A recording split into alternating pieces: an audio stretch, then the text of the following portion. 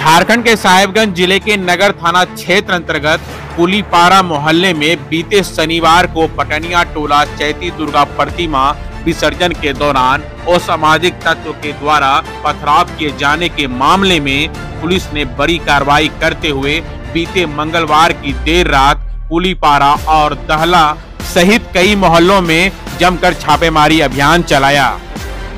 जिसमें करीब 35 लोगों को हिरासत में लिए जाने की बात सामने आई थी। इस मामले को लेकर नगर थाना प्रभारी धर्मपाल कुमार ने बताया कि बीते शनिवार को पटनिया टोला चैती दुर्गा प्रतिमा विसर्जन के दौरान कुलीपारा मोहल्ले में किसी बात को लेकर पत्थरबाजी शुरू हो गई थी। देखते ही देखते अफरा तफरी का माहौल बन गया था।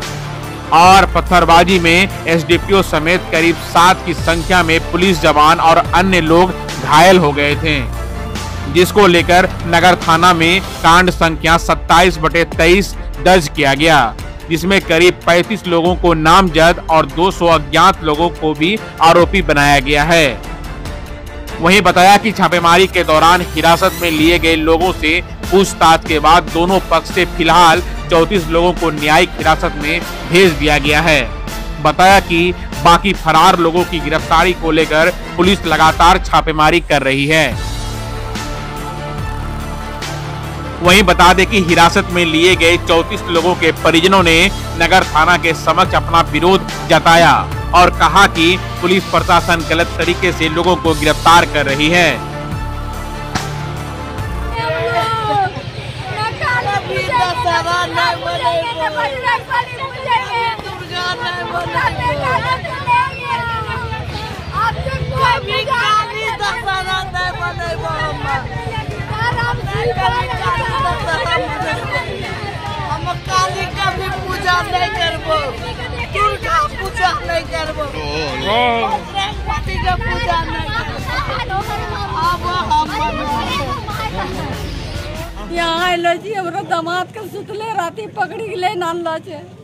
सेफ्टी करे कहले दू बजे रात का वही नहीं सुना के नॉन रोटी खा के सुतलो छे आ दुआरी मार धक्का मार धक्का खोलो प्रेम से खोलो प्रेम से खोलो हम असनी की जाने के लिए प्रेम से खोली और सब डूबी का मुसरी तर से उठा उठा के ले नान लगे। नाम किस हमरो दामाद के नाम जो विष्णु हरी।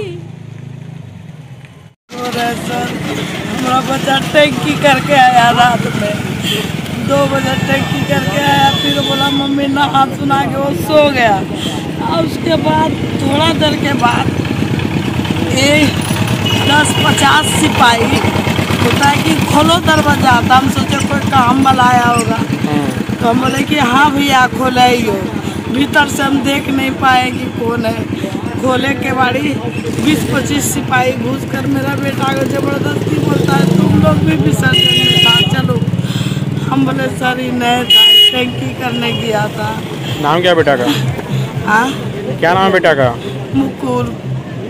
मुकुल हरी।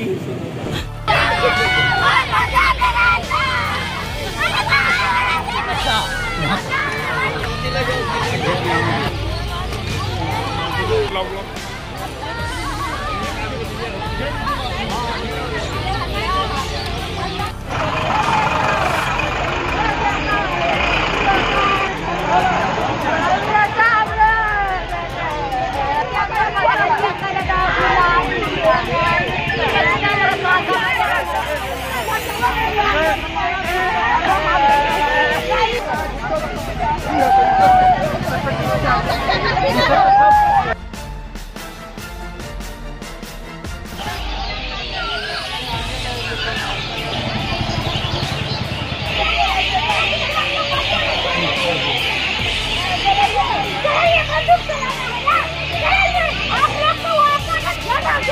やった!